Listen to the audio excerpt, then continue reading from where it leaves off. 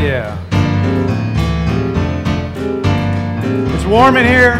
Yeah. Warm in here, right? I saw even the folks from Hope Church were dancing this morning. Oh, we have a lot of fun. We do have a lot of fun. We, uh, I decided to change my sermon topic, by the way. I'm going to preach that sermon, Love and Power, next Sunday when the children's choir can sing with us, and we're going to do that as planned with the children's story and all of that. So I decided that I was going to preach on Life is Good. So that's my topic this morning. Life is good. I mean, what a week. What a week it has been. So much happening around the world and right here in our little world in Tulsa, Oklahoma. I wonder if there are people who are watching on live stream were, were clapping and dancing also in their, in their living rooms, computer rooms, offices. I hope so. What's that? In their pajamas. In their pajamas, on their iPads or whatever. That's not starting to sound pretty good, isn't it? what were you thinking getting up and getting out here this morning? What a week it's been. Now, life is full of tests and full of limitations. Some tests and limitations are environmental, some are cultural, some are biological, some we put upon ourselves, some are nonsense. Right? Tests such as how far will I go to make money? What am I willing to do to save my marriage? What will I do to get a job, to get elected, to stay healthy? Am I capable of getting a date? Am I able to be a good friend? Can I truly love anybody? Can I raise a child? Really do it well? Can I face this disease, this operation, this loss? Can I take responsibility for the mistake I made or the decision I made? This life is full of tests. Can I accept my children for who they are? Am I good looking enough, tall enough, free spirited enough? Can I live a few more years? Can I die? I mean, do it well, with some dignity left. We all grapple with some of these questions. I know I do. We all wrestle with our limitations. We try to decide which ones are real and which ones we can overcome. Right? This week, as I've been sitting thinking about the limitations and the obstacles that I've had just with the snow and the ice and the inability to get to work or to get out of the house, right? 14 inches of snow. Now that's significant, but in Chicago, where I'm from, it's not that big a deal, right? So, what is an obstacle and a limitation in one place is just a minor inconvenience in another place. Just like what is an obstacle and a limitation in one life may be just a minor obstacle in someone else's life. Now, of course, sitting at home, feeling challenged by the snow, We've all been watching the revolution taking place in Egypt on our television screens and our computer screens. A revolution happening in our times, in our midst, started by young people on their computers. It's amazing. The scenes have been incredible if you've seen them. Protesters defying tear gas attacks by the police to mount a bridge for freedom in Cairo. Christians creating a wall of safety around their Muslim countrymen and women as they did their daily prayers in Liberty Square. Incredible. There have been scenes of violent counter protesters riding into the crowds of peaceful protesters on camels and horses, carrying whips and bats and kitchen knives. Unbelievable scenes. Others throwing rocks and throwing flaming gasoline bombs off of the roofs of buildings onto the peaceful protesters in the crowd. American reporters and reporters from other countries being beaten and arrested in the streets. And this time, it is the Egyptians and not the Jews. And it's Hosni Mubarak and not the Pharaoh of Exodus. But it's the same chant, a chant of the same flavor to the leader of Egypt let my people go. Let my people go. But in this case, it's let your people go. It's an age old story of ordinary people breaking free of tyranny and oppression and rising up to overcome obstacles and limits that seemed insurmountable.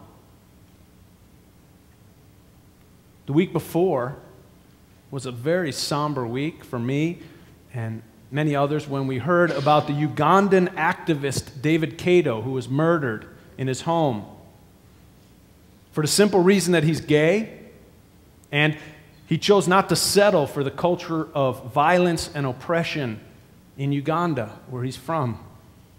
His name and his photo, along with a hundred other people's Ugandans suspected of being gay in their country, were published in a Ugandan newspaper under the heading Hang Them.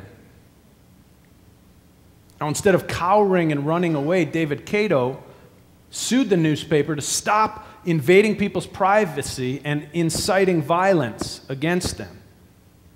Now, the newspaper publisher said after David Kato was murdered in his own home that he did not mean for neighbors to beat and kill their neighbors. He was advocating that the government do it. Some consolation. You may remember that it was on the first Sunday of February, exactly a year ago today, that I stood in this pulpit before this congregation and said that I had been, it had been requested of me to go to Uganda, to Kampala, for a conference to speak in support of both our partner church there and the gay and lesbian community of Uganda who were being attacked by their own government. And I said that I was going to go. And I actually used a number of excerpts from that sermon from a year ago in the, the piece that I wrote this week that was published by the Huffington Post. If you haven't seen it, I hope you'll take a moment to look at it in honor of David Kato, who was, who was martyred and murdered. And I, and I dearly hope and I pray that, that no one else gets killed, and certainly, especially my colleague and our partner church minister, Reverend Mark Kiyimba, who is standing up right beside David Kato in the same way for the same reasons to stop this violence and, and persecution in that nation. Now, all of these events have got me thinking about obstacles and limitations in our own lives. This morning, I want to share the stories of two people who I, I find very inspiring. There's so many stories, but there's two that I wanted to share with you this morning. Do you remember George Dawson? George Dawson, at the age of 98, he began learning to read. Dawson was an African American, and he always wanted to read. But at the age of 16, he figured he probably had missed his chance. He started working on his family farm in Texas at the age of eight. His, his grandparents were former slaves who were among the fortunate who actually received 40 acres and a mule after emancipation. By his 12th birthday, his parents needed to rent him out to a white family for $1.50 a month in order to put food on the table for the rest of George's siblings. It was at a time when one less mouth to feed and a little extra income really helped. Being born in 1898 and celebrating his 100th birthday in the year 2000, or 102nd birthday in the year 2000 meant that George had lived in three centuries. It also meant that he was born shortly after the 1896 Supreme Court decision Plessy versus Ferguson. which legitimized Jim Crow segregation in this nation. The realities of race were taught to him early. When, at the age of 10, he watched his friend, 17 year old friend, being lynched in the center of town on trumped up charges of rape that were later discredited. On his way home, his father tried to wipe away George's tears, as well as the hate that he saw welling up inside his son. This was the first of many talks that they would have about how to get along as a black person in America. George learned which drinking fountains and bathrooms he could use and which he could not. He learned what tone to use when addressing white folks and where to sit on the back of the train. For more than 80 years, George Dawson worked in a, I'm sorry, for, yeah, for more than 80 years, he worked in a sawmill. He built levees on the Mississippi River. He drove spikes for the first railroads in East Texas. He broke wild horses. He swept floors. He cleaned for white people. And for 25 years, he ran the machines that pasteurized milk at a dairy farm. He once lost a chance at a promotion at the dairy farm because he did not know how to write his own name. At one point, he played semi pro baseball in the Negro League. And he spent 10 years traveling throughout North America by rail. Sometimes he had a ticket, and other times he just jumped on boxcars. It's amazing when you live to be over 100, there's a lot that you can do. He outlived four wives and he personally cared for each one as they died. He fathered seven children, but he never learned to read. Until one day, at the age of 98, when a young man came to his door recruiting people for the adult basic education classes at the local high school. And according to an article in the Seattle Star Telegram, when the young man came to his door, George said, I've been alone for 10 years. I'm tired of fishing. I'm going to learn to read. A few years late, a few days later, George waited outside of classroom 103, and the teacher looked at him. He stood barely five feet tall. His skin was wrinkled, his hair was white. His blue eyes said he was serious. You ever go to school? The teacher asked. Not a day. Not a day? Never had a chance. You know the alphabet? No, son. The teacher began with six letters, but the old man interrupted. No, son, I want to see them all. I want to put them together. George learned his ABCs in a day and a half. The teacher moved on to phonics, breaking words into pieces and sounding out their parts. No, son, I want to say something that makes sense. At the age of 102, George was studying as a full time student and received his GED. He hardly missed a day of class except for an occasional funeral. When asked if he was going to take a break, he replied, No way. I still got so much ahead of me to learn. Clearly, George did not want to squander the life that was so miraculously given, even and up till the end. Lord knows that he had many obstacles put in his path. He's lived through inhumanity and loss and stolen possibilities without losing his sense of hope and gratitude for life and without compromising his personal integrity. That's why I want to share his story this morning. He may not have gone to school, but he's been tested by life's inequities, uncertainties, and fears. He's been tested long before he went back to school. In a world of heartless discrimination, he regularly had to decide between his pride and his life. Imagine that. How far would he go to make money, to protect his family, to avoid a scene. Life is full of tests. Life is full of limitations. and obstacles for every one of us. Some are cultural, some are biological, and others we put upon ourselves. The second story on this theme that I want to share is from one of my favorite contemporary writers, Dr. Rachel Naomi Remen, a Jewish woman who tells about when she was 16 years old. She went to sleep one night in her college dormitory room, and she woke up six months later in the hospital. She has Crohn's disease. A mass- and massive intestinal bleeding put her in a coma.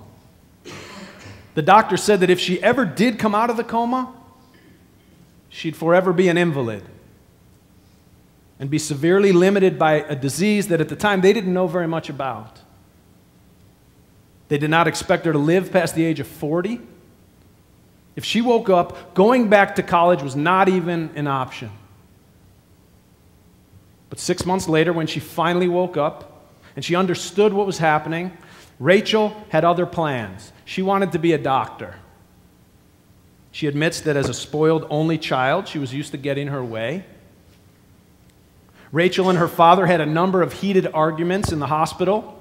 And when she finally told him that she was going back to school, regardless of what the doctor said, he said, Well, I'm not paying for it. That's when her mother, who was, although she was a professional woman, lived in a different era, and she never disagreed or challenged her husband before. She said, Then I'll pay for it. Turns out that Rachel's mother had been saving money in a secret bank account for years. And she told Rachel that she'd give her the money, all of it, for her tuition. Within 24 hours, against the doctor's advice, Rachel's mom signed her out of the hospital and flew her back to college.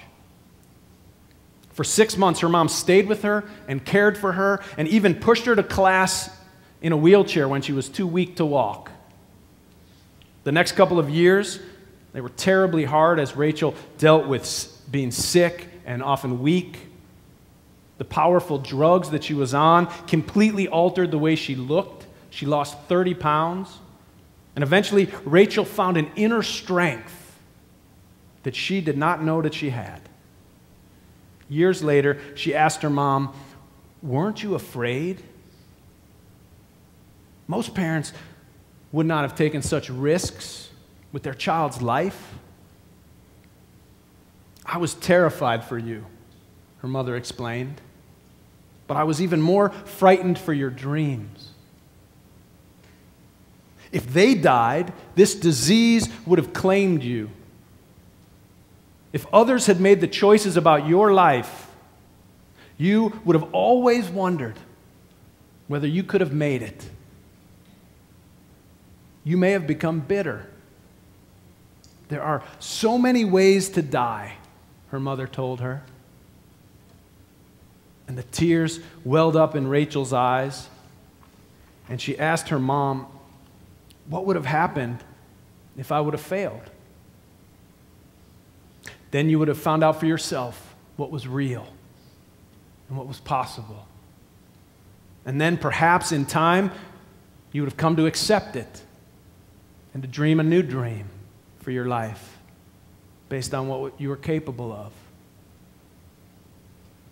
Now, her story reminds me that sometimes the limits that are put upon our lives heightens our appreciation for what's possible and what we do have. Right? But then there are other limits that are real obstacles that cannot be overcome. I realized back in high school, much to my disappointment, that at 5 foot 11, 180 pounds, I would never play for the NFL. there would never be a Super Bowl ring on this hand. Right? Now, I will admit that I have busted through the limitation of 180 pounds. Still no NFL contract. But other limits are what one of my mentors and great friends, Ken McLean, called established nonsense. Many limits that are placed upon women, on the physically challenged, on gay and lesbian people, on folks who live in poverty, are based on established nonsense. The limits placed on George Dawson and other people of color during the days of segregation and even sometimes up until today also fit into this category of established nonsense. In the book that Dawson co wrote at the age of 100, he tells of one train excursion in the 30s in which landed him in Tulsa. And he and another black gentleman went to look for a place to eat. And George was surprised when the man who could read explained to him that the signs here in Tulsa read, No colored and no Indians. He'd never seen a sign that said no Indians before.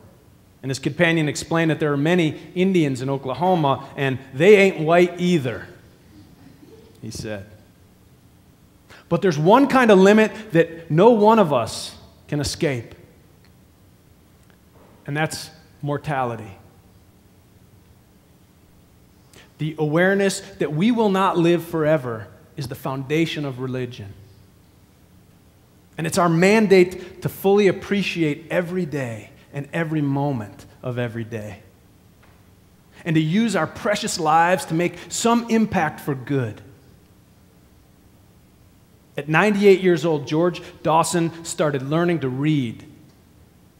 For the last four years of his life, he was a scholar and an author. Even at age 102, people would constantly ask him if he thinks he'd ever marry again. And he'd say, I might, I might. When asked if he likes school, he says, Every morning I get up and I wonder what I might learn today. You just never know.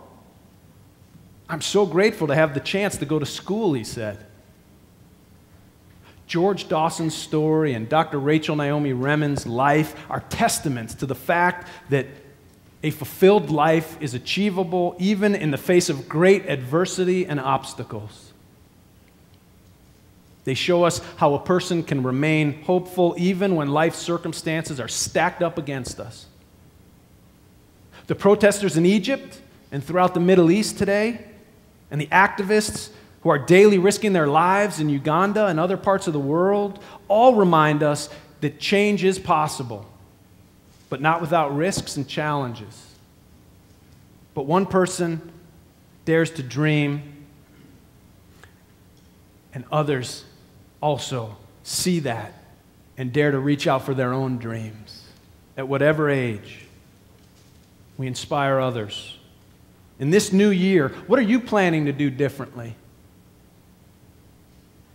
I hope that you'll push through some of your own limits into possibilities in the face of whatever adversities might confront you, because you too will inspire others. You probably already are. What doors will you unlock that might otherwise remain closed for you and for others who will follow? Take time, even if you're snowed in, to savor and appreciate this life that has been so miraculously given and that won't last forever. Make it full and a worthwhile life, outlined as it must be by hardships and limitations, because that's the nature of it all. May 2011 find in you a fullness of experience that absorbs both sorrow and joy, winter and spring, living and dying. Take heed of the words of a 102 year old man named George Dawson, who said, Life is so good and it's only getting better. God bless you. And amen.